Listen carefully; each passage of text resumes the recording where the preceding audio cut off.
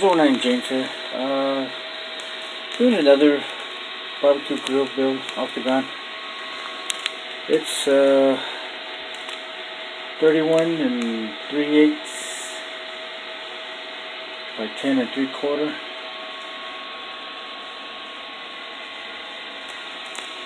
Got that far.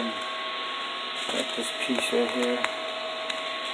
And I'm using my Forney stick over here. Just got done packing it up. Uh, just letting you guys know in another build. Thanks. Bye.